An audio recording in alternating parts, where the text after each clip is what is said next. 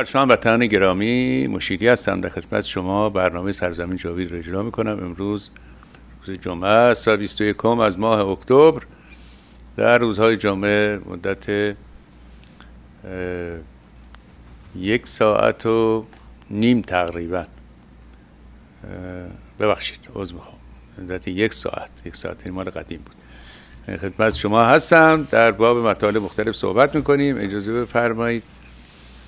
که ما با سعدی آغاز کنیم. امروز می‌خواهیم که قصیده ایوان مدائن که یکی از مشهورترین قصاید زبان پارسی است به واسطه درون مایه ایران دوستی و حس تأسف و تأثر و حس فقدان از دست رفتن به خاطر از دست رفتن شاهنشاهی ایران.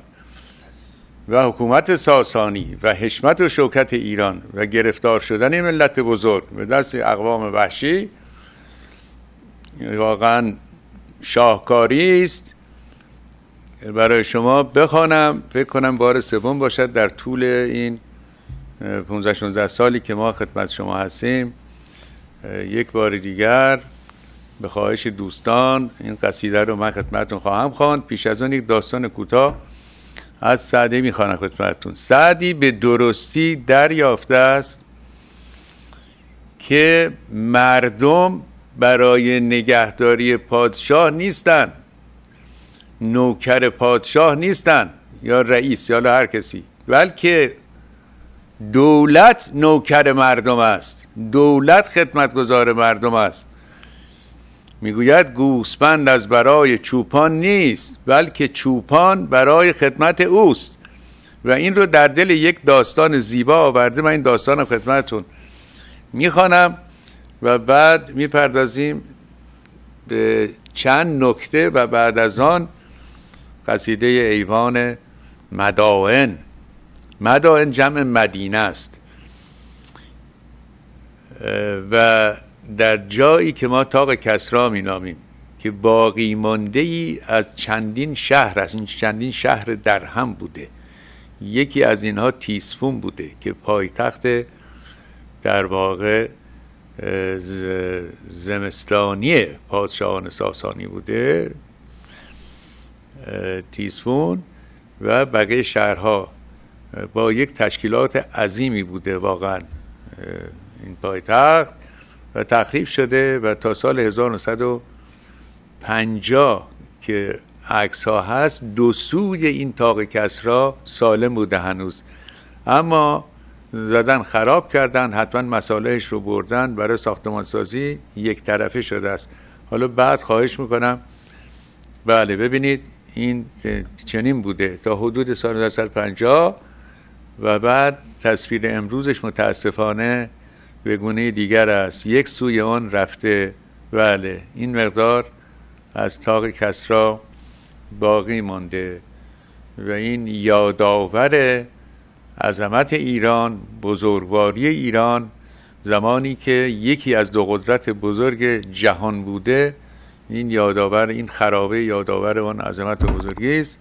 و بعد ما دیگر گرفتار اکبر و شدیم و حبیب ابن مظاهر و اونقدر نظر ما کوتاه شد که بزرگی های خود رو فراموش کردیم و یک سره بر سر و سینه میکوبیم برای اکبر و اسقر و حسن و حسین و اینها. و اوضاع احوال ما هم همین است که ملاحظه میفرمایید. ملتی که در جستجوی بزرگی نیست و نظر بلند ندارد و افقهای دوردست رو نمی نگرد حتی به تاریخ خود نگاهی ندارد. سرنوشتی بهتر از این البته نخواهد داشت. خب میفرماید درویشی مجرد به گوشه نشسته بود پادشاهی بر او بگذشت. درویش سر بر نیاورد و التفات نکرد. محتاجی نداشت. درویش مجردی بود. از دنیا گسیخته نشسته بود. پادشاه محتشم گذشت. درویش سر بر نکرد. حتی سرش هم بلند نکرد که ببینی کیست. و التفات نکرد.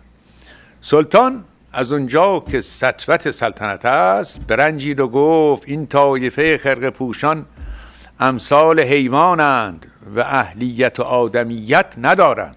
به پادشاه برخورد.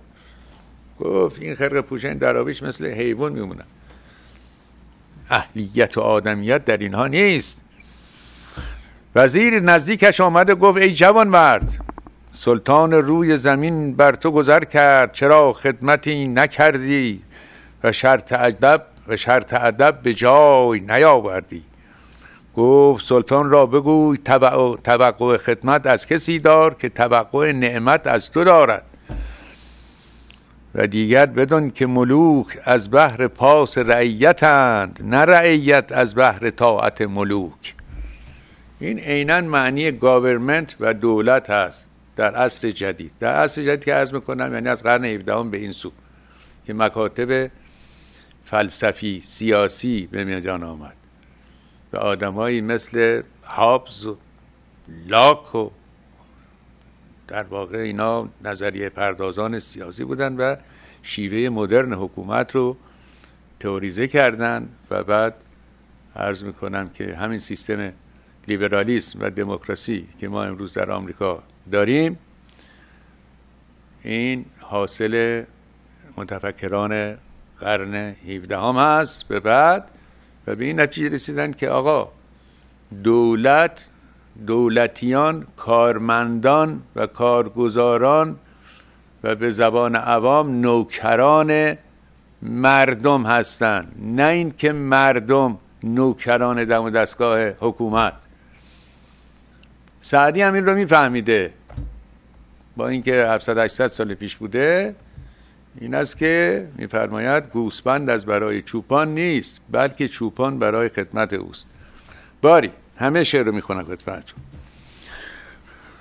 میفرماید پادشه پاسبان درویش است. گرچه رامش به فر دولت اوست. گوسفند از برای چوپان نیست بلکه چوپان برای خدمت اوست. یکی امروز کامران بینی دیگری را دل از مجاهده ریش. روزکی چند باش تا بخورد خاک مغز سر خیالندیش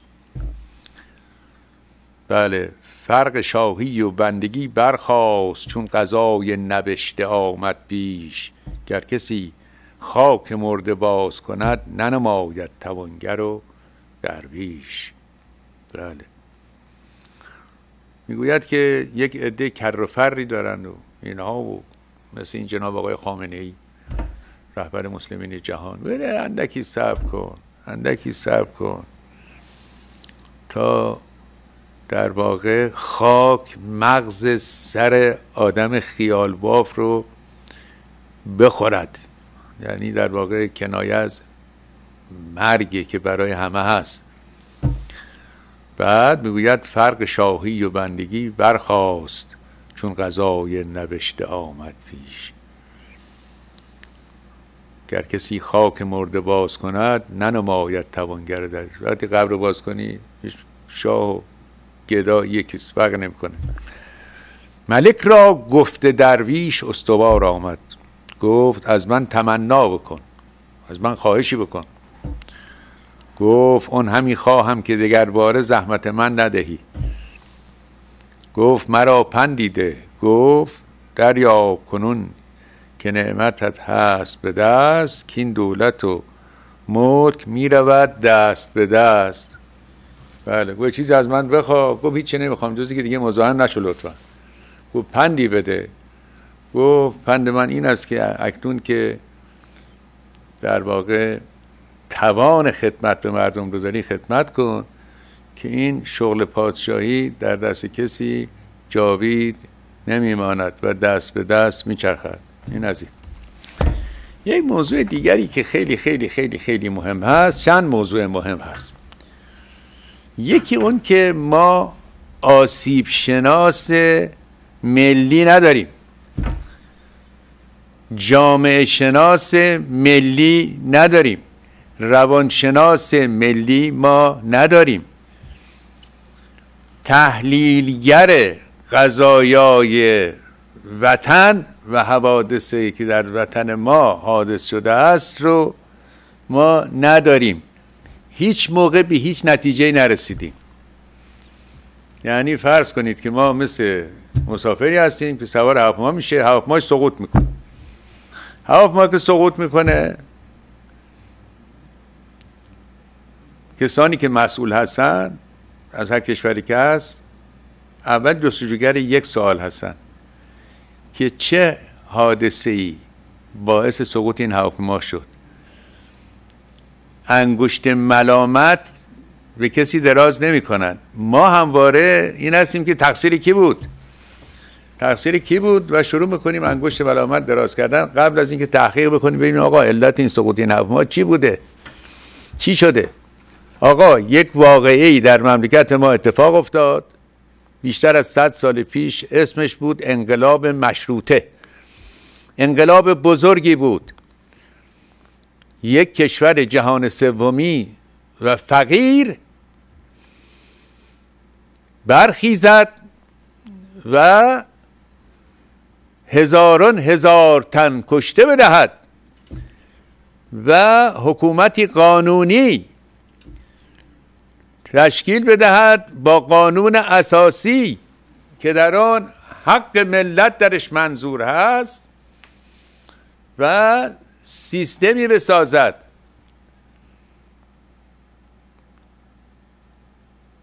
که در آن حاکمیت از ملت است.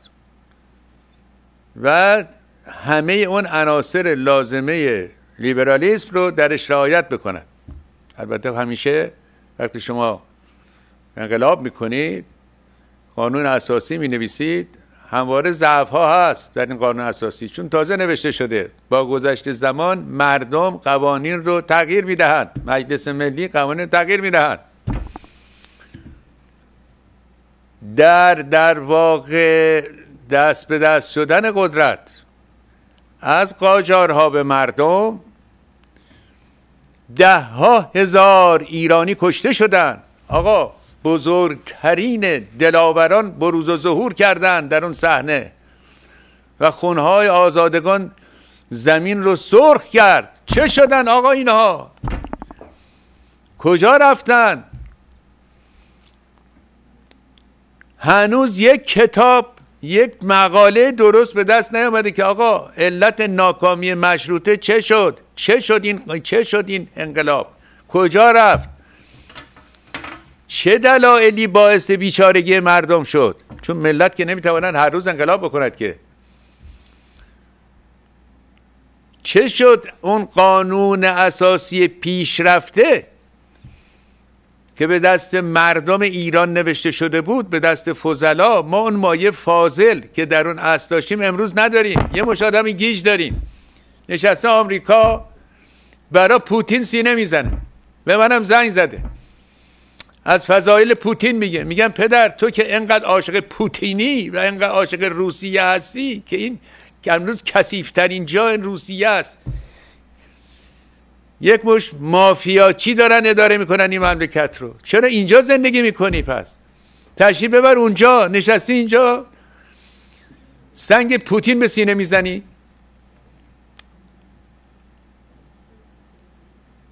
آمده اینجا از آزادی اینجا استفاده می‌کنه؟ از همه مزایای یک کشور دموکراتی استفاده می‌کنه؟ اما رگ گردنش برای پوتین بلند میشه. و خنده داره این سفاهته و این حماقته. باری. چه شد این مشروطه؟ دوستان خون ستارخان کجا رفت؟ برای چه ریخته شد؟ چطور شد که ما از اون به این رسیدیم؟ آیا جو این بزرگترین سوال سوال سیاسی امروز این هست. بزرگترین سوال سیاسی گذشته ایران از کورش کبیر. تا این خمینی داره دسته این هست که مشروطه چه شد آقا؟ چه شد؟ چگونه گام به گام به اینجا رسید؟ و فایدهش چی هست دانستن اینها؟ فایدهش این هست که برگردیم به تمثیل هواپیما. وقتی هواپیما سقوط می‌کند میان آقا بررسی می‌کنن میگن آقا این مثلا بالش عیب داشته. میرن بررسی می‌کنن در دیزاینش دیزاینش تغییر میدن و کارخونه سازنده میاد یاد می‌گیره. و رفته رفته هواپیما رو بیعیب می‌کنن که دیگر سقوط نکنن. ما مرتب هواپیمامون سقوط می‌کنه اتوبوس اون به دره میافته و ما هیچ یاد نمی‌گیریم. هیچ حکمتی و هیچ عبرتی ما از هیچ کدوم از این حوادث بزرگ تاریخی ما به دست نیاوردیم. از هر کسی سوال این سوال رو بکنی یک جواب عجیب غریب به شما خواهد داد. به جهت اینکه ما علاقمند به دانستن حقایق نیستیم متاسفانه. بر حسب تعصبات و منافع خود سینه می‌زنیم.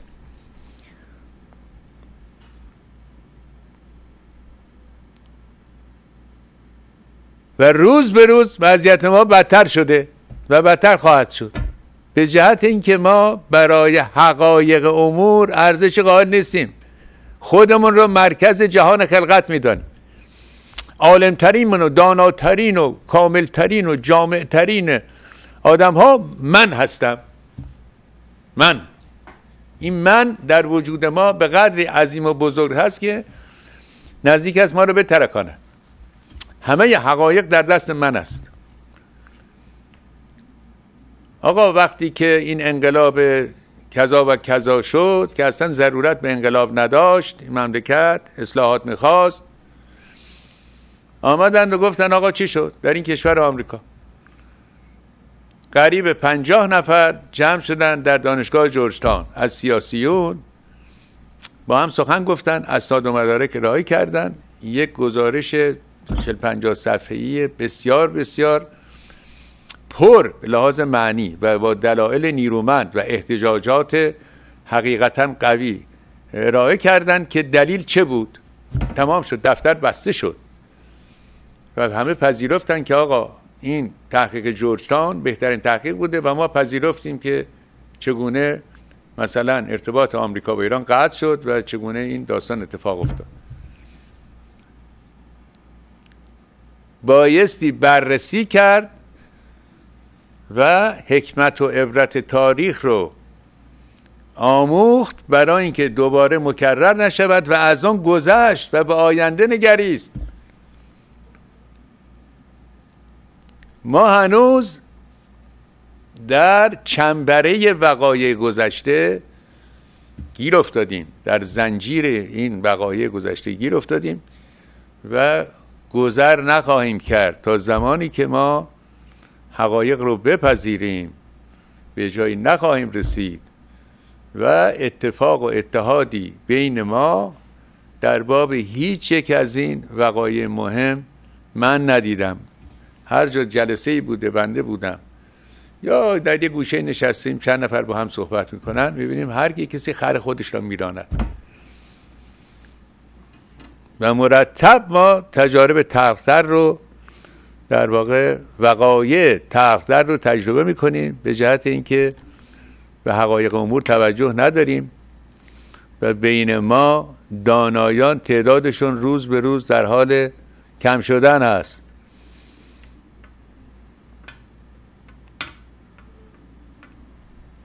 نزدیک صد روزنامه نگار تراز اول جهانی ما در ایران داشتیم. امروز ما دو تا روزنامه نگار نداریم داخل ایران.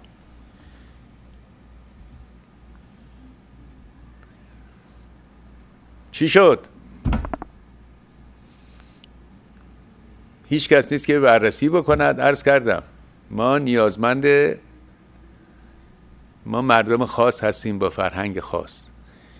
این روانشناسی یونگ و فروید به درد یونگ و فروید می‌خوره به درد ما نمی‌خوره. بارا عرض کردم این داستان رو.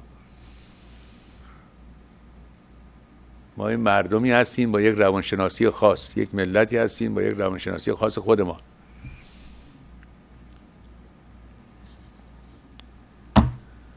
بله این یک نکته بود که خواستم خدمت شما عرض کنم. حالا یک کتاب هم هست به نام شاعران در اندوه ایران که بعد از اون کتاب هم به موقع برای شما می‌خوانم. این قصیده که من می‌خوانم خدمتون همونطور که عرض کردم یک کار جاودان هست جاودانگیش به واسطه محتوای شعر هست و شعر در منتها درجه عظمت هست و متانت و بلاغت و عمق و خاقانی شاعر بزرگ دو بار به حج سفر کرده. در سفر دوم هست که از مدائن عبور کرده. و با این خب کشور اسلامی شده بوده است و اینها اما دل خاقانی بسیار سوخته و از تک تک ابیات این قصیده ما حس وطن دوستی او و حس در واقع فقدانی که این مرد در سینه داشته ضمن دیدن خرابه آخرین پادشاهان ایران. چون می‌دونید شاهنشاهی ایران در اونجا تمام شد. در اونجا تمام شد. ما بقی بیگانگان بودند تا کریم خان زند. حالا این مطلب دیگری. باری اگر از خاقانی همین یک قصیده باقی میماند به همین درجه شهرت داشت و این مشهورترین کار افضل الدین بدیل خاقانی است که ایوان مدائن شهرت دارد. من برای شما می‌خوانم. امیدوارم که برسیم. تمام کنیم. سپر جان شما یک موزیک کوتاه لطفا پخش کنید و بعد قصیده رو من خدمتتون می‌خونم.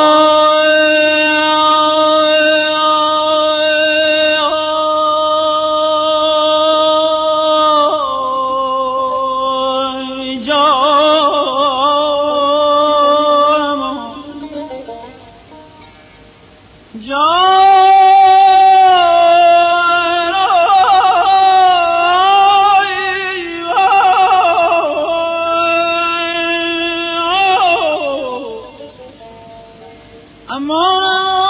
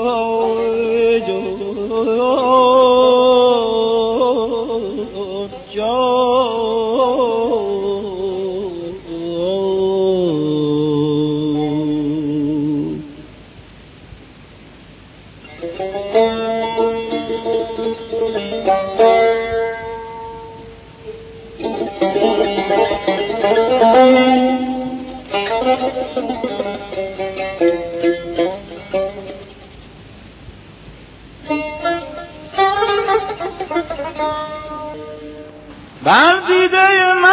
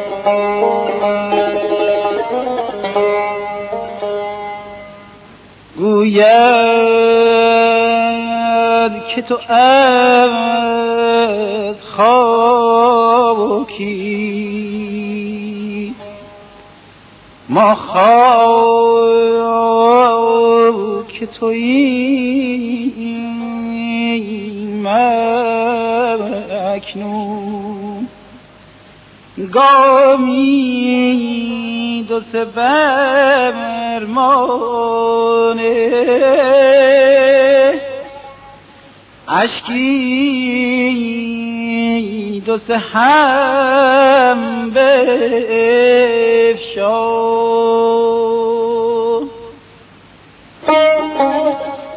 دو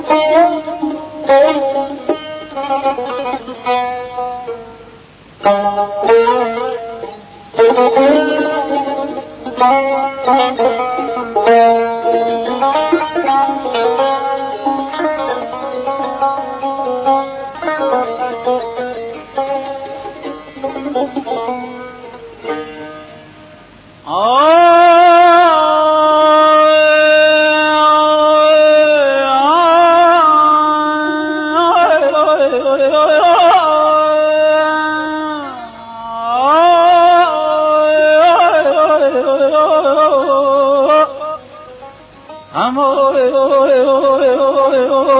هم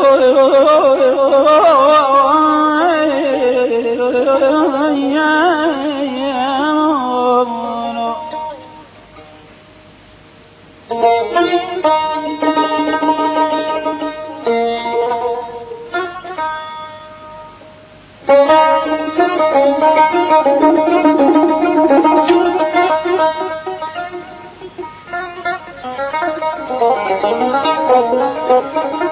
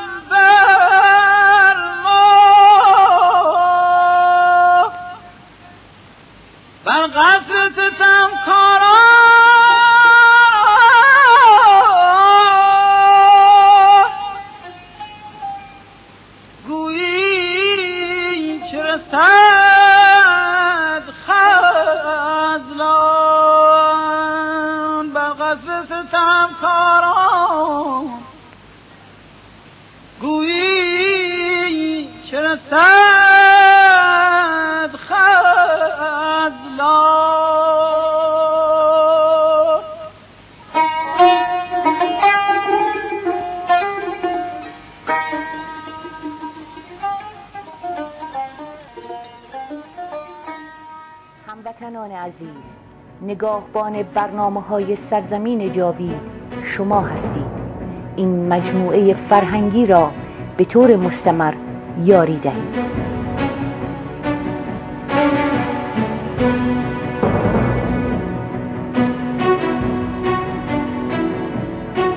تلفن پشتیبانی 818 345 06 07 سپاسگزاریم.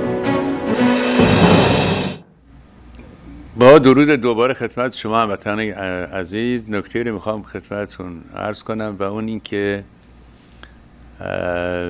هموطن نازنینی در اروپا در تلگرام گفته های ما رو کوتاه کوتاه می‌گذارد و این بسیار مورد علاقه هموطنان واقع شده و این بانوی بزرگوار فکر می‌کنم کار و زندگیشون رها کرده و این کار انجام میده و خیلی هم خوشحال است.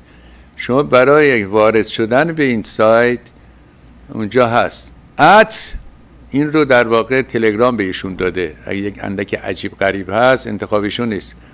همونطور که ملازم می‌کنید. همینطور شما می‌تونید وارد بشید با استفاده از این آنچه می‌بینید. ات بهرام مشری مشیری نیست. ات بهرام مشری و سلام. شما بزنید. وارد اونجا میشه. می‌توانید از مطالب استفاده کنید. خب برم سر خاقانی. خاقانی هم روزگار هست. با ارز کنم که عبدالرزاق اصفهانی محمد ابن عبدالرزاق از شعرهای بزرگ هست. ایشون پدر خلاق المعانی هستن.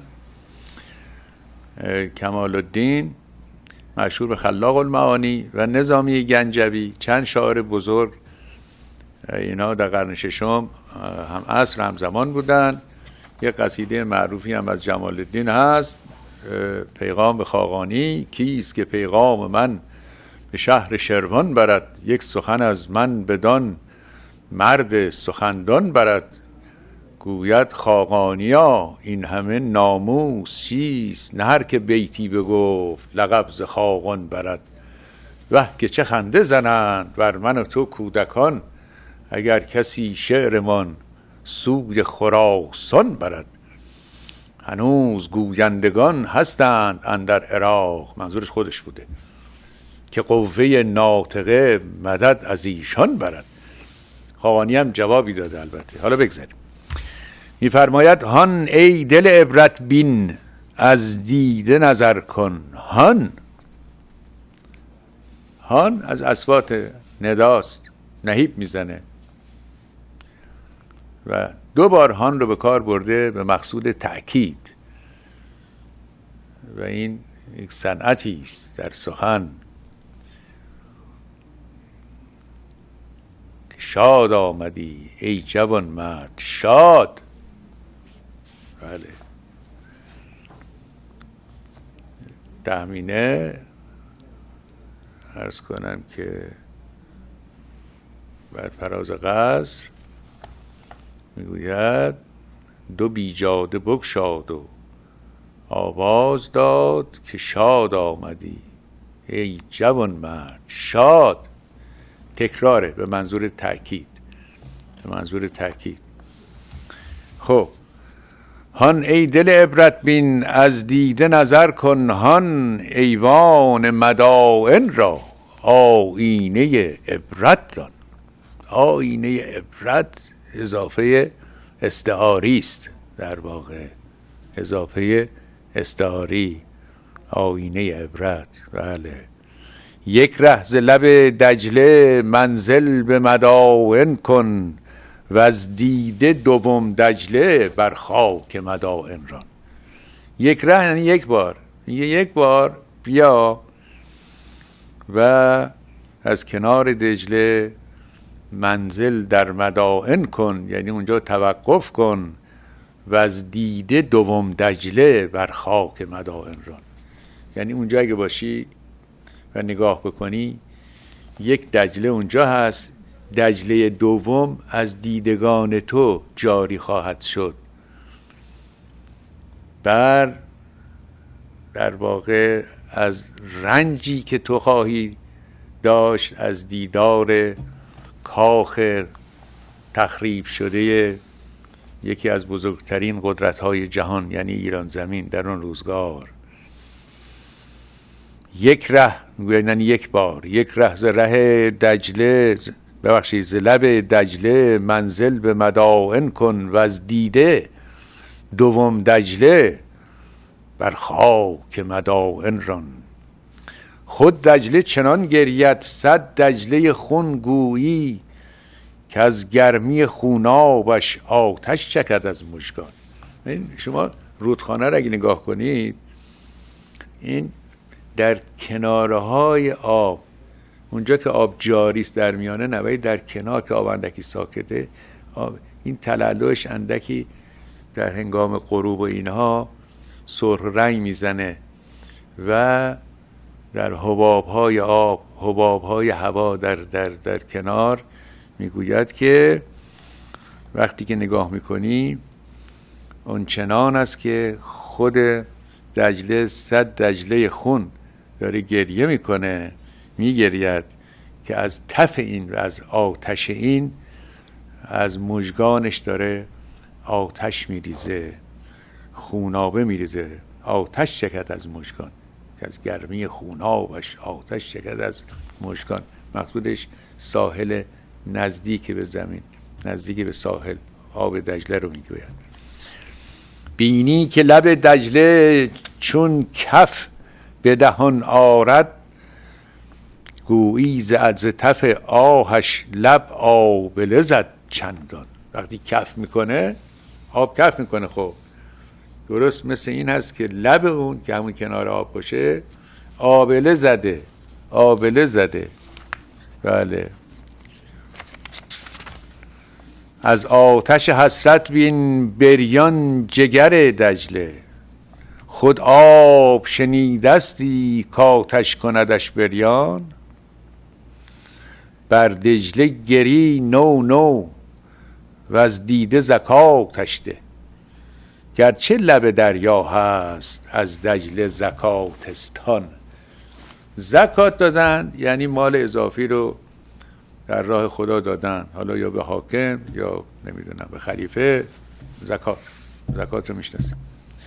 از دید زکاتشته یعنی از دید سهم گریه خودت رو به مدائن بده. بله. اگرچه دجله انقدر نیرومند هست که خود دجله به دریا زکات میده. گرچه لب دریا هست از دجله زکاتستان دریا داره از دجله زکات می‌گیره. یعنی آبش میریزه به دریا. می‌گوید آب دیده تو هم مثل زکات. بر دجله گری نو نو و از دیده زکاتش ده. یعنی گریه کن. گرچه لب دریا هست از, دی از دجله زکاتستان تا سلسله ایوان بکس است مدائن را. تا سلسله ایوان بکس است مدائن را در سلسله شد دجله. چون سلسله شد پیچان. اینجا سلسله داره دو معنی است. می‌گوید که وقتی که سلسله ایوان گسیخت منظور زنجیر عدل انوشیروان است که در اونجا می‌گویند بوده و کسانی که به آنها ستم شده بود این زنجیر رو می‌گرفتند و تکان می‌دادند. دادرسی می‌شد و به شکایات آنها رسیدگی می‌شد. میگه از روزگاری که این اعراب آمدند دزدان مدینه و این زنجیر رو گسیختند دجله در سلسله شد. پاهاش به زنجیر رفت یعنی دیوانه شد. در سلسله شدن کنایت دیوانه شدنه. چون دیوانگان رو زنجیر می‌کردن. در سلسله شد دجله. چون سلسله شد پیچان مثل زنجیر در خودش میپیچد. از زمانی که اون سلسله ایوان بکس است تا سلسله ایوان بکس است مدائن را در سلسله شد دجله. چون سلسله شد پیچون زبان خاقانی زبان بسیار مشکلی است. تشبیهات و استعاره های مشکل دارد. مزامین بدی اما مشکل ابداع کرده خاقانی. و این است که بایستی شما یک دانشی لازم برای خواندن خاقانی داشته باشید وگرنه معانی ابیات رو ممکن است در نیابید دیگه از مشکل گوترین شعراست. تا سلسله ایوان بکس است مدائن را در سلسله شد دجله چون سلسله شد پیچان گه گه به زبان اشک آواز ده حیوان را. تا بو که به گوش دل پاسخ شنوی زیوان. به به. میگه گاه گاهی با زبان اشک اینجا زبان اشک که می‌گوید اینم باز اضافه استعاری است. می‌گوید به زبان اشک آواز ده سخن بگو. یعنی بگری. تابو شای باشد که بود که. به گوش دل پاسخ شنوی زیبان. یعنی وقتی تو با حساس حساسیت و غمخواری گریه کنی و با زبان اشک سخن بگی با گوش دل خواهی که گوش دل در مقابل گوش سر اینا مراعات نظیر است در واقع. مراعات نظیر است بله. دندانه هر قصری پندی دهدت نو نو. پند سر دندانه بشنو زبون دندان.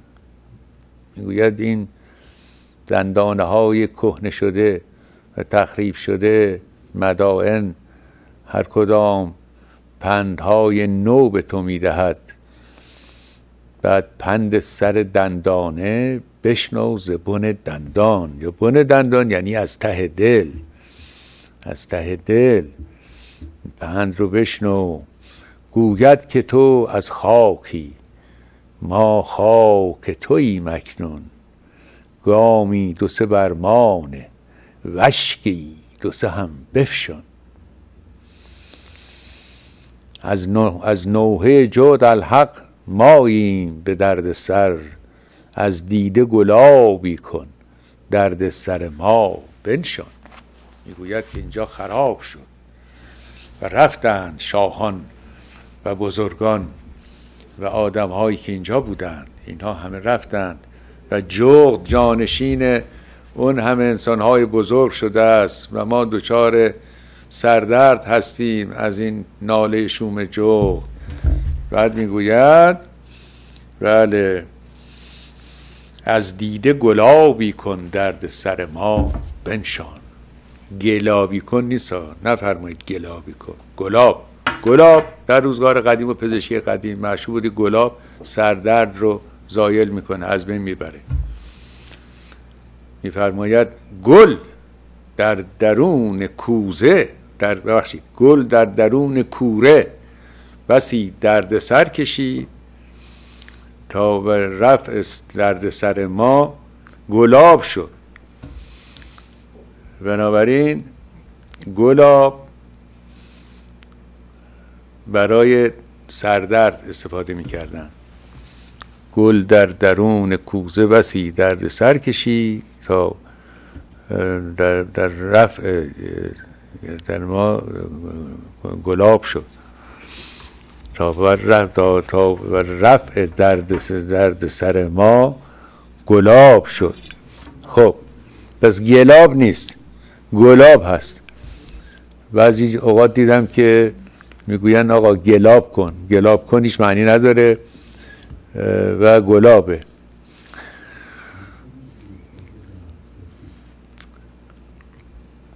از نوحه جغد الحق ماییم به درد سر. از دیده گلابی کن درد سر ما بنشان آری چه عجب داری؟ کاندر چمن گیتی جغد است پی بلبل نوحه است پی الحان چمن گیتی هر شود که اضافه تشبیهی است. می‌گوید در این چمن گیتی چه اتفاقی میفته جغد است پی بلبل. بلبل با آوای نشاط انگیز می رود جغد با صدای شومش می آید نوحه است پی الحان. الحان یعنی آواز موسیقی نشاط انگیز نوحه یعنی آواز حزن انگیز در واقع از همینا که سر قبر آقا می‌زنن. بله.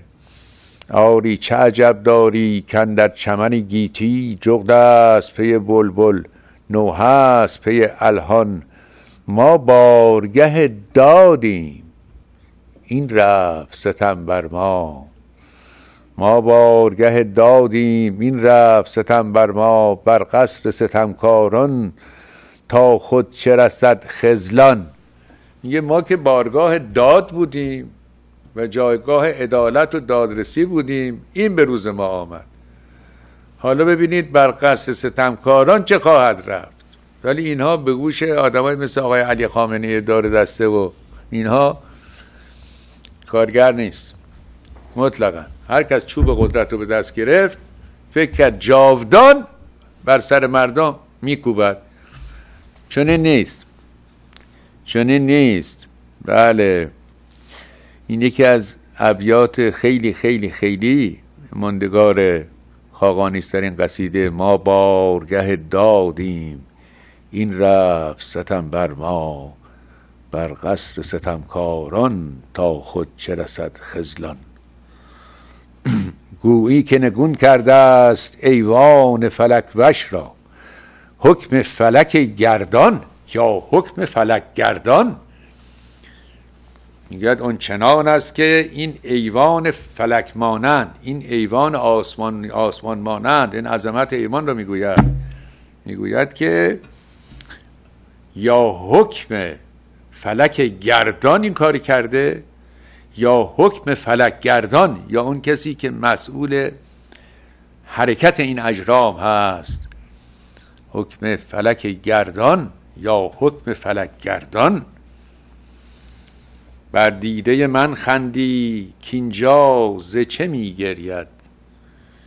خندند بر آن دیده کینجا نشود گریان. به من میخندی که چرا گریه می‌کنن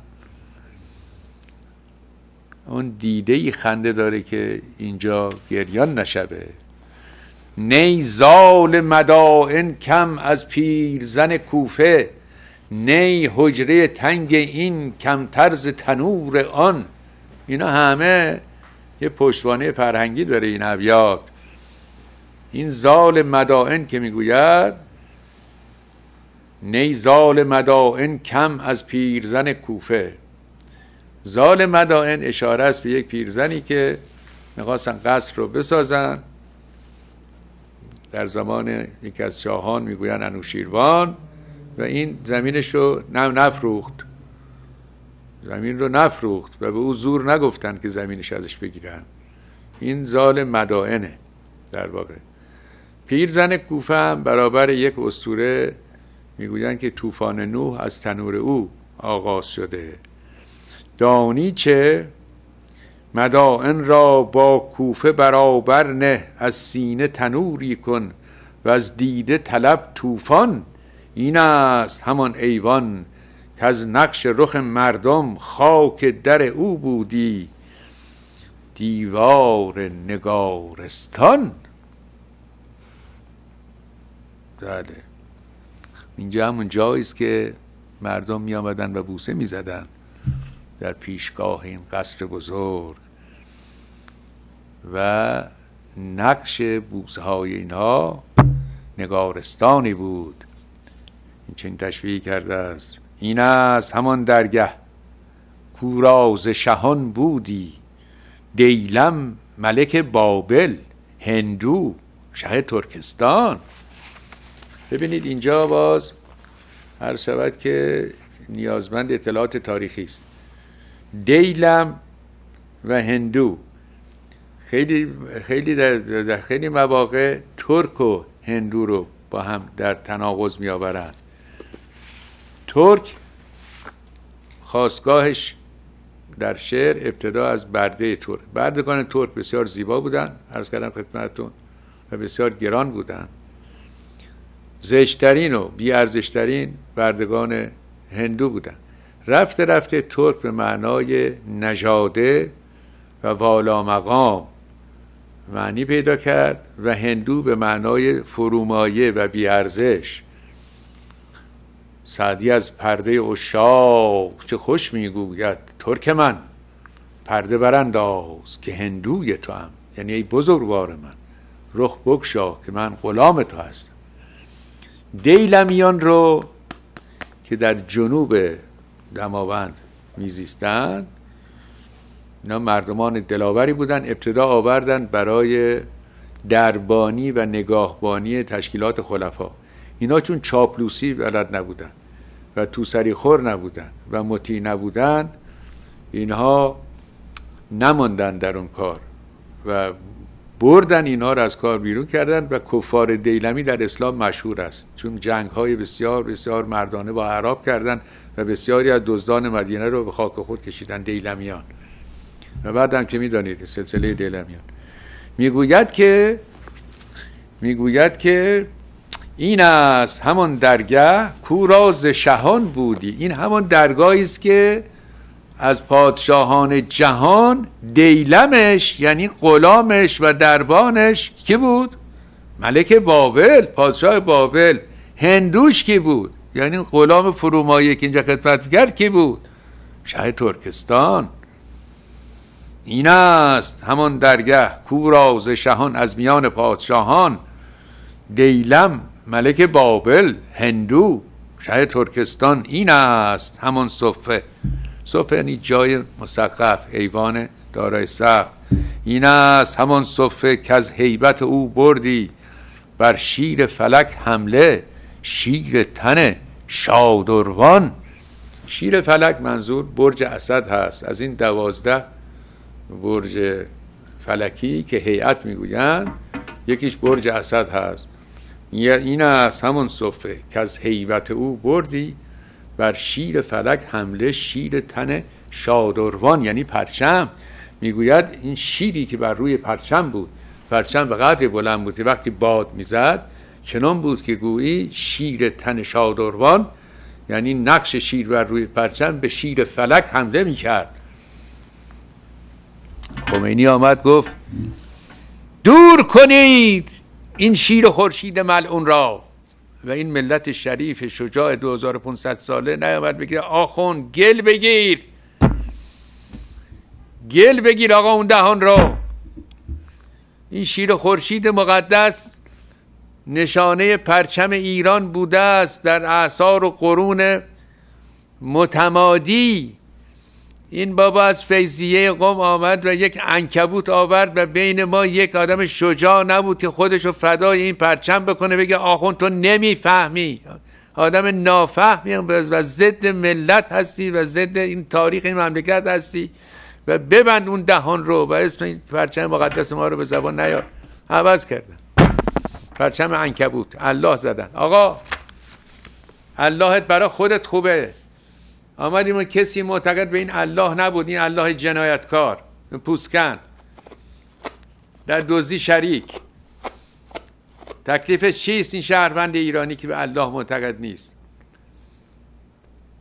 چگونه ما ساکت نشستیم خمینی بیاد نقش پرچم ما رو عوض کنه.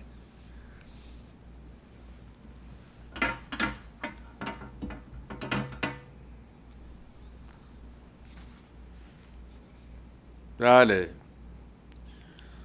پندار همان عهد است از دیده فکرت بین در سلسله درگه در کوکبه میدان. از از پیاده شو بر نطع زمین نه رخ زیر پی پیلش بین. شهمات شده نعمان. حالا داستان چیست؟ نت یعنی سفره. از از پیاده شو بر نطع زمین نه رخ. رخ تو بر سفره زمین بگذار. زیر پی پیلش بین شهمات شده نعمان. نعمان ابن منظر یکی از ملوک هیره بود در روزگار خسرو پرویز و قبل از او هرمز. و این رو آوردن و زیر پای پیل انداختن. زیر پای پیل انداختن. شهمات یک اصطلاحی است در شطرنج. این زمانی است که شاه مات میشه و هیچ حرکتی دیگه نمی‌تونه بکنه. و شطرنج پایان پیدا می‌کنه دیگه. وقتی شاه مات مات شد و هیچ جا نداره فرار بکنه اینو بهش گفتن شهمات. بدترین وقتی بود که شطرنج باز دچار شهمات بشه. از از پیاده شو بر نطع زمین نه رخ. زیر پی پیلش بین شهمات شده نعمان. نی نی که چو نعمان بین نعمان بین پیلفکن شاهان را یا پیلفکن شاهان را پیلان شب و روزش کشته به پی دوران. ای بس شه پیلفکن کفکنده به شه پیلی. اینم باز اصطلاح شهرنج شطرنج شطرنجی تقدیرش در ماتگه هرمان مست است زمین زیرا خورده است به جای می.